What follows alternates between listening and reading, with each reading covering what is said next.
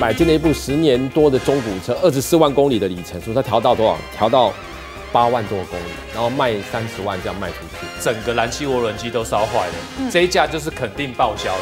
这凸显了两件事情，第一个，Volkswagen 的其他形象有用。哎这这个这个土狼真的很厉害。